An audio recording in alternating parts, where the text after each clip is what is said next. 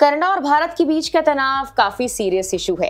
लेकिन कनाडाई PM Justin Trudeau ने जो लॉरेंस और भारत सरकार के कनेक्शन के दावे कर डाले हैं, उसे सोशल मीडिया तो बिल्कुल भी सीरियस नहीं ले रहा।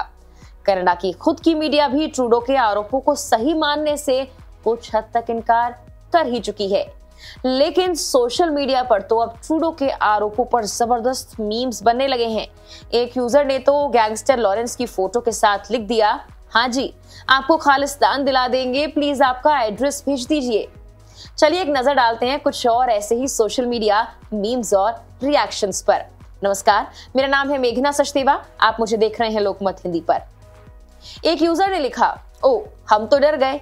एक यूज़र ने तो ये तक लिख दिया कि नहीं सोचा था कि भारत के कनाडा से ज़्यादा बेहतर रिश्ते पाकिस्तान के साथ होंगे। कोई ट्रूडो की बारबी ड्रेस में फ़ोटो शेयर कर रहा है तो कोई लॉरेंस को द डैड ऑफ़ खालिस्तानी बता रहा है। कुछ ने तो एवरग्रीन मीम्स मटेरियल के साथ अब ट्रूडो का नाम जोड़ दिया है। कॉपीराइट इशू के चलते हम आपको वो सब तो नहीं दिखा सकते, लेकिन कमेंट्स तो बता ही सकते हैं।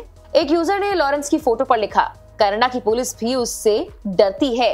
एक ने कमेंट किया, नाम तो सुना ही होगा, लॉरेंस बिश्नोई एक और यूज़र ने भी मज़ेदार कमेंट किया है वो लिखता है, खालिस्तान क्या पूरा कनाडा दिलवा देंगे? बस कहीं मिल तो जाओ। अगला यूज़र लिखता है हाँ हम तो कहते हैं जितने भी लोग राष्ट्र विरोधी हैं, धर्म विरोधी हैं, सबका एड्रेस भेज दो।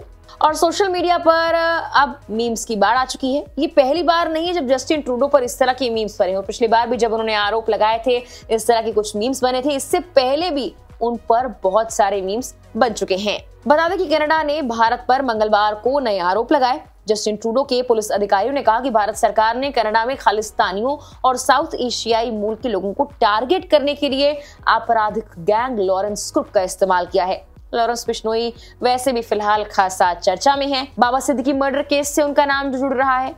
कनाडाई पुलिस विभाग आरसीएमपी में असिस्टेंट कमिश्नर ब्रिजिटी गोविंद ने कहा कि लॉरेंस गैंग का भारतीय सरकार के एजेंट्स के साथ कनेक्शन है।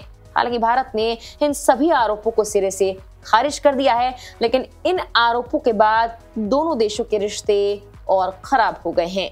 फ़िलहाल के लिए इस वीडियो में इतना ही।